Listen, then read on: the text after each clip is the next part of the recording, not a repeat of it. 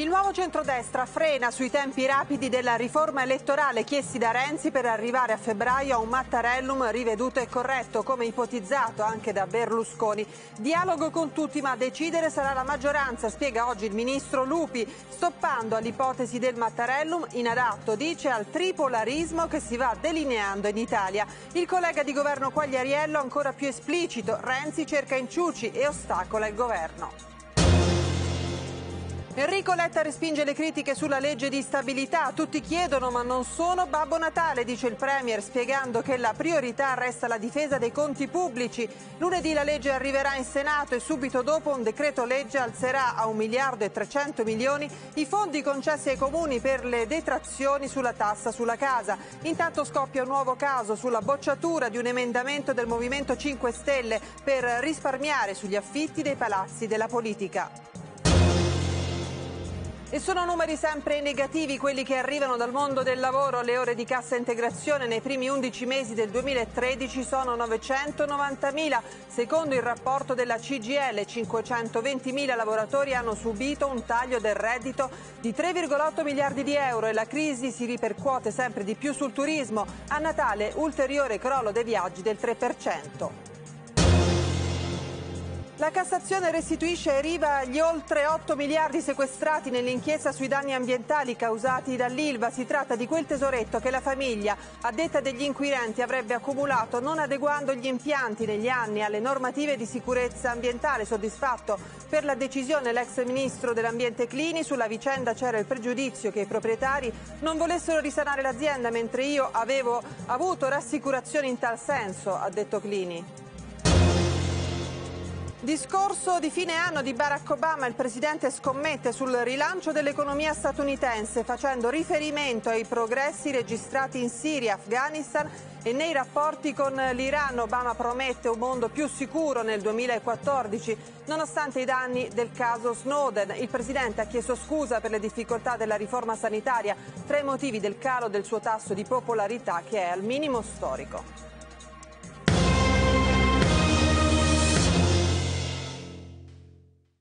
Buongiorno, benvenuti al telegiornale della Sette. Dunque in primo piano anche oggi c'è eh, la politica e il governo che si avvia eh, faticosamente verso l'approvazione della legge di eh, stabilità, ma in cantiere restano naturalmente le riforme, la riforma della legge elettorale in primis che è tornata ad essere in primissimo piano da quando Matteo Renzi è stato eletto segretario del Partito Democratico.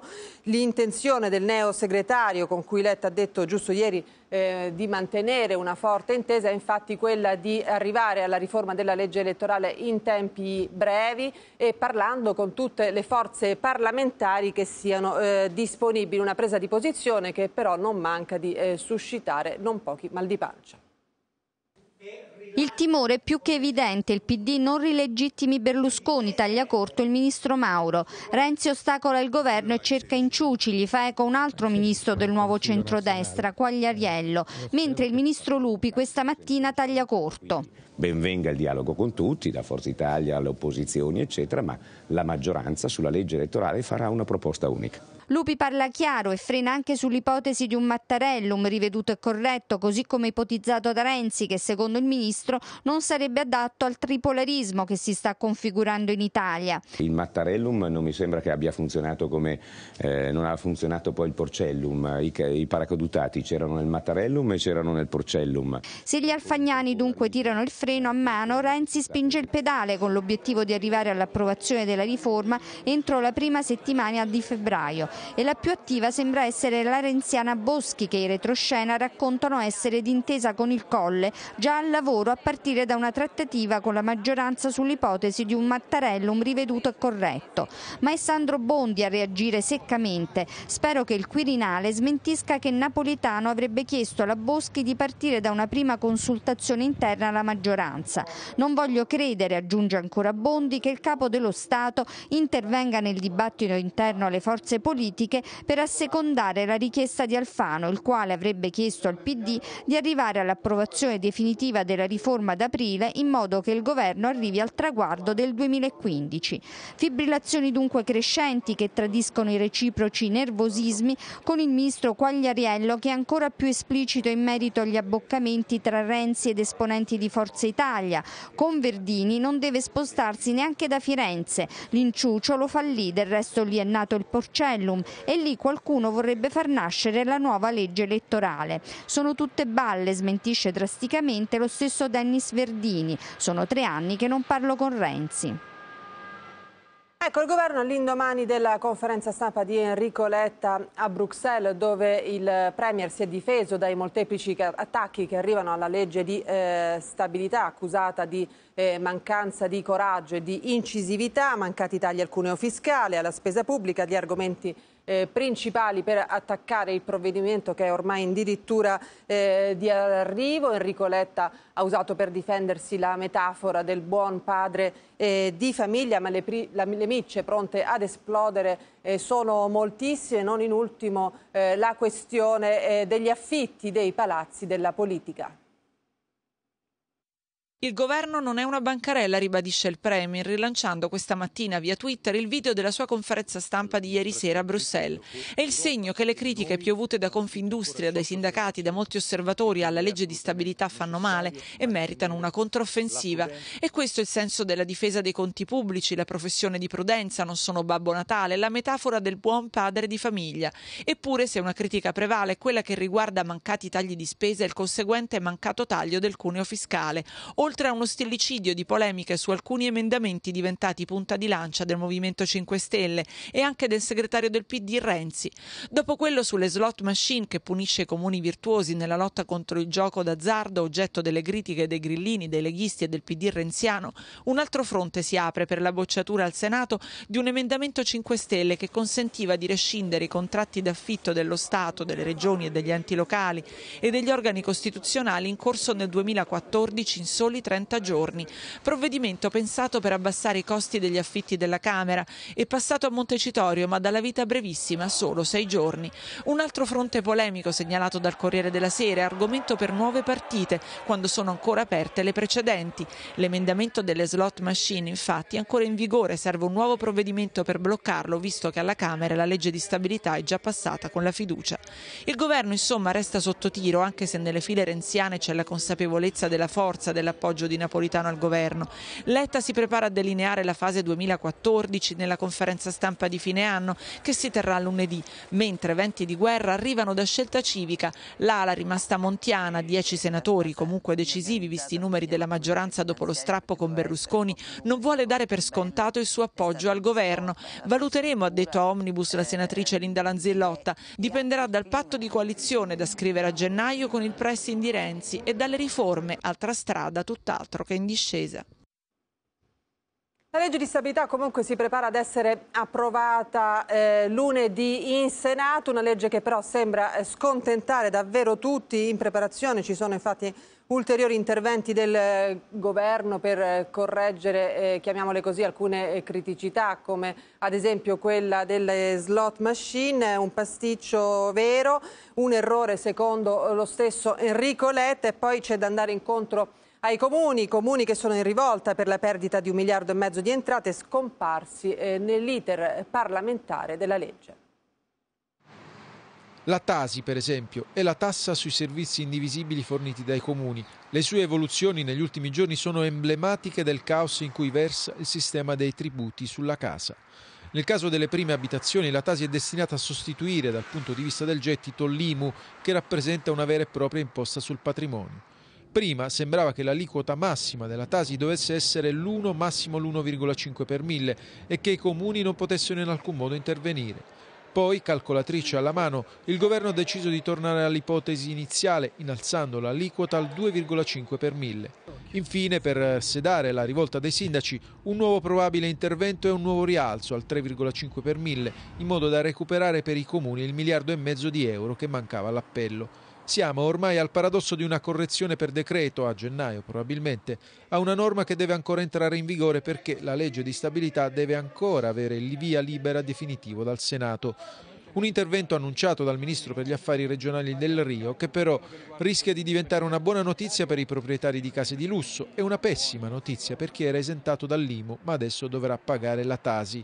Ecco che per compensare questo effetto distorsivo il governo imporrà ai comuni che scelgono di alzare al massimo al 3,5 per mille appunto l'aliquota sulla Tasi di concedere delle detrazioni alle famiglie che però, è stato già calcolato, non basteranno comunque a bilanciare il danno subito nel passaggio da IMU a Tasi da una famiglia con figli che vive in un'abitazione media di proprietà. Ma la Tasi non è che uno dei tre pilastri su cui si regge l'imposta unica comunale, la IUC, che avrà dentro anche la Tari, che altro non è che la tassa sui rifiuti, e la vecchia IMU che continuerà a gravare sulle seconde case. Venirne a capo per contribuenti, commercialisti addetti ai lavori non sarà facile. E questo forse più di ogni altro è il Natale della crisi, con l'Istat che da giorni ci inonda eh, di dati eh, davvero non rallegranti che descrivono gli italiani sempre meno propensi a spendere neanche per eh, beni primari come quelli alimentari. Figuriamoci poi eh, se c'è qualcuno che eh, si concede un viaggio. Che cosa trovano stavolta gli italiani sotto l'albero? Beh, dipende. La politica risponderebbe stabilità più qualche speranza appesa a segnali millimetrici di ripresa. Se però la risposta la dà la statistica, trovano un pacco con il solito stillicidio di cifre. Una scontata che nei primi 11 mesi dell'anno la cassa integrazione sfiora il classico miliardo di ore. Succede per la terza volta in tre anni, ricorda la CGL. Il record fu nel 2010, ma non significa che ne siamo lontani o che ne siamo usciti. Significa solo che molti di quegli ammortizzatori ammortizzatori sociali nel frattempo si sono trasformati in disoccupazione. La meccanica è il settore più colpito e cresce del 20% la quota delle aziende che richiedono il provvedimento per salvarsi dalla crisi o per risanarsi.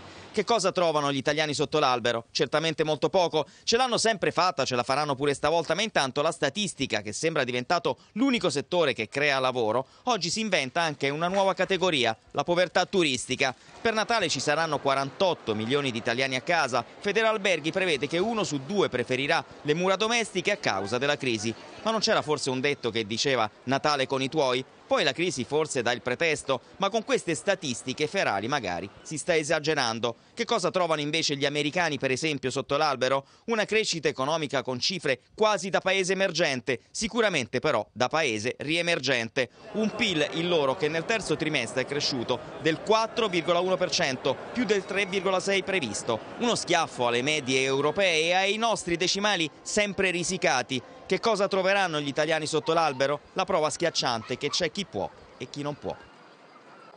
Ecco, l'avete appena sentito eh, nel servizio, dunque gli Stati Uniti invece sono in grande ripresa, per questo Barack Obama nella conferenza, nella tradizionale conferenza stampa di fine anno ha dato un'iniezione di ottimismo al Paese, ha detto che gli Stati Uniti, eh, l'occasione appunto una svolta economica, che il 2014 sarà l'anno della svolta economica ma anche di eh, importanti svolte nel campo della politica estera, sarà la fine definitiva della guerra in Afghanistan e l'inizio forse di una solida intesa con l'Iran. Il mondo secondo Barack Obama alla fine di questo tormentato 2013, 60 minuti di conferenza stampa per fare il punto su tutto. Orologio alla mano però è l'America spiona a monopolizzare le parole del presidente, la raccolta di dati sulle telefonate soprattutto dei propri cittadini perché quelle sugli alleati, compresi i presidenti ed i capi dei governi, sono considerati dall'opinione pubblica quasi dovuti. Tra le 46 raccomandazioni del gruppo di esperti che ha studiato l'operato della NSA ce n'è una che definisce l'enorme volume messo sotto controllo inutile per la sicurezza americana e chiede meno quantità e più qualità. Un giudice federale ha parlato apertamente di incostituzionalità. Obama però prende tempo, ci penserà sotto l'albero. Le nuove direttive arriveranno non prima di gennaio più regole e controlli per recuperare la credibilità perduta, dice il Presidente. In effetti, come gradimento, Obama al suo minimo storico, meno della metà degli americani pensa che stia facendo un buon lavoro. Ho avuto i miei alti e bassi, risponde ridendo. Il pensiero va al disastro dell'Obamacare appena varato e al fiscal cliff, l'America due volte sull'orlo del fallimento.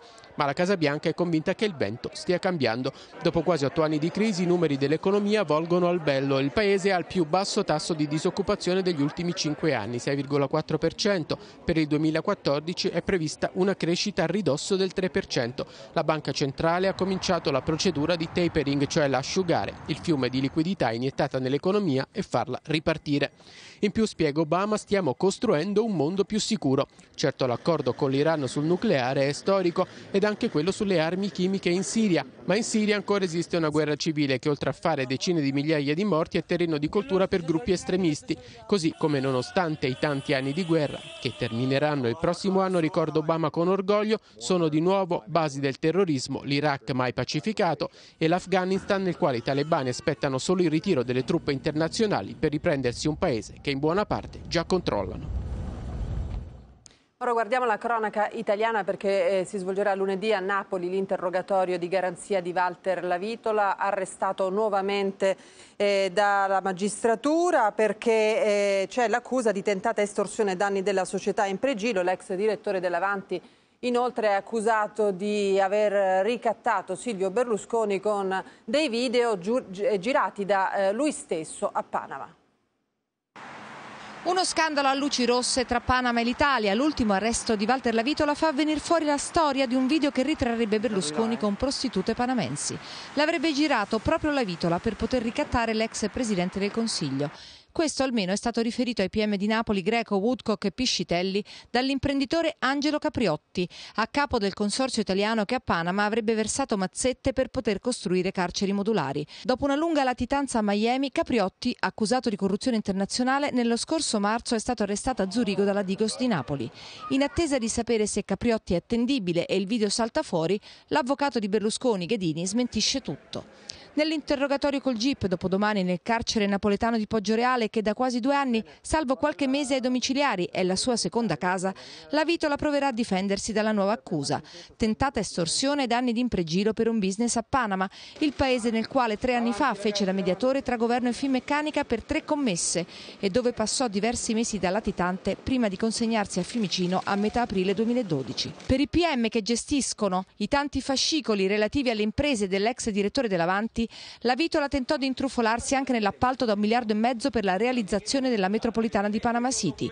Promise in pregilo che l'avrebbe favorita nella gara se poi, dopo averla vinta, avesse costruito un'opera pubblica, un ospedale pediatrico nella capitale. Un accordo di compensazione industriale frequentemente adottato, in gergo si chiama offset ma l'appalto andò a una ditta brasiliana e di conseguenza in pregilo non costruì l'ospedale. La Vitola però non si arrese, minacciò ritorsioni, fece anche intervenire Berlusconi che in una telefonata al presidente di Impregilo Ponzellini sollecitò la definizione dell'accordo. In caso contrario il presidente di Panama Martinelli, secondo i PM di Napoli socio occulto nell'eventuale costruzione dell'ospedale, avrebbe danneggiato la reputazione di Impregilo già impegnata a Panama con lavori sullo stretto.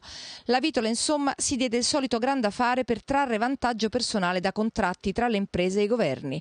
Gli sono contestati anche 50.000 euro ricevuti da Impregilo in nero per organizzare la visita di Berlusconi a Panama nel 2010 e le vacanze in Sardegna di Riccardo Martinelli e del suo seguito.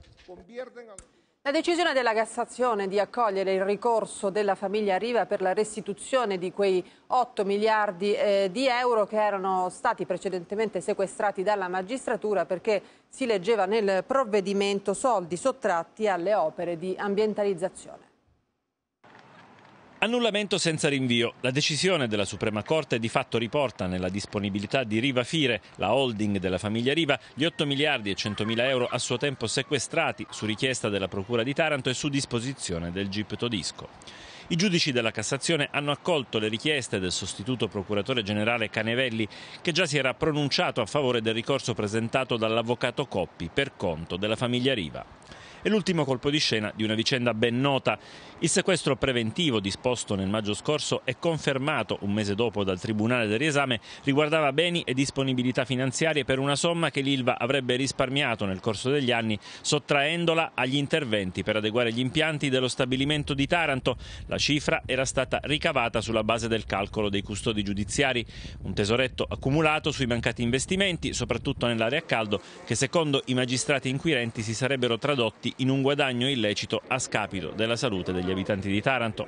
Ne prendiamo atto e oggi il laconico commento del capo della Procura Sebastio. Il braccio di ferro con i Riva aveva prodotto lo stop temporaneo alla produzione in sette stabilimenti di Riva Acciaio nel nord Italia e l'ha annunciata messa in libertà di 1400 lavoratori.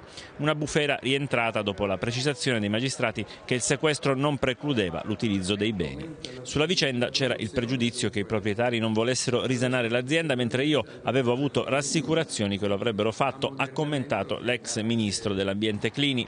Sul fronte giudiziario proseguono in questi giorni gli interrogatori degli indagati che hanno chiesto di essere ascoltati dopo aver ricevuto l'avviso di conclusione delle indagini, l'atto che normalmente precede le richieste di rinvio a giudizio. Lunedì prossimo è in programma quello del governatore della Puglia Vendola, accusato di aver esercitato pressioni sul direttore dell'Agenzia regionale di protezione ambientale Assennato. E prima del Natale c'è stata una retata del nucleo antisofisticazioni dei carabinieri, 2000 ispezioni solo nelle ultime due settimane, sono state eh, sequestrate. 43 strutture commerciali, elevate multe per oltre 700 mila euro, sequestrate 250 tonnellate di alimenti. A Milano. In particolare sono finiti nel mirino i negozi cinesi, sequestrate specialità culinarie vietate in Europa, nel resto d'Italia i sequestri hanno riguardato insaccati, pesce mal conservato, centinaia di panettoni di produzione industriale spacciati invece per artigianali e nel setaccio dei NAS sono finiti anche custodie per smartphone, cellulari, attrezzi igienici, giocattoli, decorazioni senza il marchio europeo, insomma tutta merce che eh, non finirà sul mercato e dunque sotto l'albero eh, degli italiani e sulle tavole dei eh, cenoni eh, di Natale. La Telecom, la Telecom perché al termine di una lunghissima assemblea gli azionisti hanno deciso di non revocare l'attuale consiglio di amministrazione che eh, resterà pertanto fino alla sua eh, naturale scadenza in aprile. Per i consiglieri di Terco accusati eh, di troppa vicinanza con gli spagnoli di Telefonica da Marco Fossati che proponeva il cambio di passo non è stata però una vittoria piena, vediamo perché. Alla fine si è salvata, ma mai come in occasione dell'assemblea dei soci Telecom di ieri, la Fortezza Telco, la holding che tiene le redini del colosso delle telecomunicazioni e che da qualche mese è a sua volta sotto il controllo degli spagnoli di Telefonica, ha traballato e probabilmente continuerà a farlo sotto i colpi di moltissimi azionisti che quell'operazione di fine settembre proprio non l'avevano digerita. Il più combattivo di tutti è stato Marco Fossati, erede della dinastia Star e possessore del 5% delle azioni Telecom, che ha preteso la convocazione dell'Assemblea per revocare il Consiglio di amministrazione in carica. E il CDA, come dicevamo, è riuscito a salvarsi, ma per un soffio. Solo il 50,3% del capitale presente, di fatto poco più del 27% del totale, ha votato contro la revoca, mentre il 42,3% si è espresso a favore. In pratica Fossati, i piccoli azionisti e soprattutto i fondi, compreso l'americano BlackRock, che stando ai numeri non dovrebbe essersi astenuto. Cifre che dicono molte cose, ma soprattutto che quella di ieri assomiglia molto più ad una sconfitta che ad un successo per l'attuale dirigenza e per Telco. Uno scacco completato dalla mancata nomina in CDA dei due rappresentanti proposti che non sono riusciti a raggiungere la maggioranza assoluta dei voti. Niente integrazione dopo le dimissioni di quattro consiglieri, il board rimarrà di 11 persone fino ad aprile. Insomma, il vero vincitore è proprio Marco Fossati che non ha alcuna intenzione di mollare la presa e anzi già annuncia battaglia in vista dell'assemblea di aprile. Quindi noi avremo tutta opportunità di andare avanti a lavorare per aprile con calma che forse è anche il miglior modo per presentarsi a, non, a, un rinnovo e quindi arriveremo con un programma più dettagliato, con forse una squadra più, più, più se vogliamo professionale, più determinata, con un disegno eh, di futuro rilancio dell'azienda. Annusata l'aria che tira, resa più pesante dalle voci provenienti dalla Procura di Roma che sia pure per ora senza indagati ha acceso i riflettori attraverso un costante scambio di informazioni con la Consob sulle recenti operazioni che hanno visto protagonista Telecom, Telco Telefonica, prestito convertendo e vendita delle quote in Telecom Argentina. L'amministratore delegato Marco Patuano ha promesso al termine della maratona assembleare di nove ore una governance più trasparente e corretta, una sostanziale ammissione di quella che è stata, di fatto, una sconfitta. Ma oggi è anche giornata di campionato di calcio, vediamo allora quali sono le eh, partite che si stanno per giocare in un calcio alle prese anche con le inchieste sulle scommesse e con i problemi del tifo nelle curve. Un inatteso regalo di Natale, quello che la Corte di Giustizia federale ha voluto fare ai tifosi di Inter e Roma, aspettando ulteriori accertamenti anche in virtù dei ricorsi intrapresi dalle due società contro la chiusura delle curve. Roma-Catania, ma soprattutto il derby Inter-Milan, si giocheranno senza divieti. Ma questo diciassettesimo turno di campionato, che sarà aperto alle 18 da Livorno-Udinese, vedrà in serata il Napoli alle prese con la delicata trasferta di Cagliari. La risalita in classifica è quel terzo posto a sole tre lunghezze dalla Roma restituisce fiducia agli uomini di Benitez dopo l'amara eliminazione dalla Champions League. E il tecnico spagnolo, pur con le dovute cautele, spera di tornare dalla Sardegna con i tre punti. Se vinciamo sarà ancora meglio, credo che arrivare dove abbiamo arrivato, credo che eh, per eh, cinque mesi è molto positivo Domani pomeriggio invece la capolista Juventus andrà a far visita a un Atalanta in ottima forma, ma i bianconeri che non possono certo arrestare la loro marcia affideranno a Carlito Steves il ruolo di Grimaldello. Antonio Conte si è chiuso intanto in un silenzio stampa riconducibile alle dichiarazioni rese nei suoi confronti nell'ambito dell'inchiesta sul calcio scommesse. Chi non vuole perdere contatto con la capolista è la Roma, che domani in casa contro il Catania vedrà il ritorno di Francesco Totti con la maglia da titolare. L'obiettivo sono i tre punti per restare agganciati alla Juventus e congedarsi da questo 2013 nel migliore dei modi. L'obiettivo di, di, di prendere i tre punti la domenica per chiudere questa mezza stagione di grande livello de, della Roma. Ehm, è solo questo che conta. Miglior chiusura di quest'anno calcistico non poteva esserci. Il derby di Milano promette scintille e spettacolo. Da una parte l'Inter decisa a riscattare lo scivolone di Napoli e fare un bel regalo di Natale al nuovo patron Tohir. In casa Milan invece il tecnico Allegri lega gran parte del proprio futuro alla stracittadina. Su di lui aleggia minacciosa la figura di Clarence Sedorf che sembrerebbe aver già siglato un preaccordo con la società rossonera, indiscrezione che fa il paio con quella riguardante un ritorno di fiamma per Cesare Prandelli, caldeggiato dal presidente Berlusconi in persona. Breve pausa pubblicitaria, ma restate con noi perché al ritorno, prima di dare la linea a TG Cronache, vedremo se ci sono degli aggiornamenti delle notizie. A tra poco.